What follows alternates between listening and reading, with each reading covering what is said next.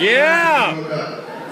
How many of you know who Edward Snowden is? I want you to know that at every second of every day, they have a plan for you. And if you're anything like me, I'm no longer buying the shit that they're talking about is the evolution of the human mind and its idea for tolerance.